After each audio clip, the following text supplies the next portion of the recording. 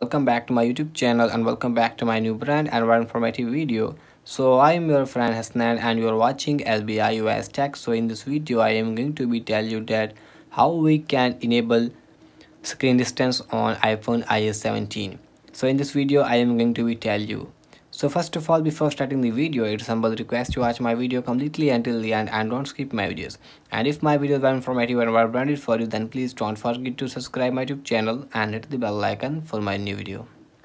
So without wasting any time let's get started the video. So first of all guys what you need to do you have to simply open your just setting app.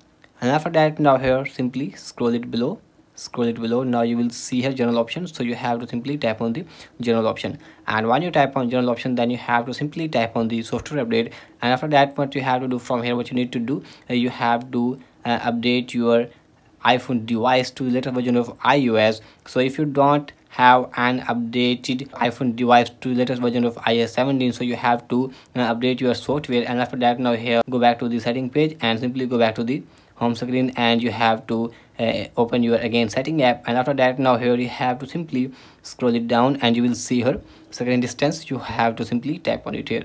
And after that from this method i will tell you uh, how you can enable your screen distance on your iphone i17 you will see here screen distance so you have to simply tap on it here.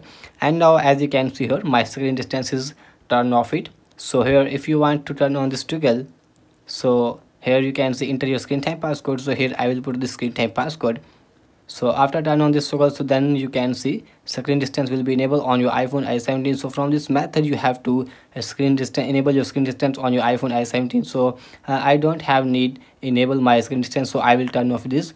And after that put your passcode. So go back to the home screen. So from this method you have to enable your screen distance on your iphone ios 17 so i hope your problem has been fixed. If your problem has been fixed then please don't forget to subscribe my youtube channel and hit the bell icon for my new video so hope this helped. Thanks for your time today and i will see you on the next one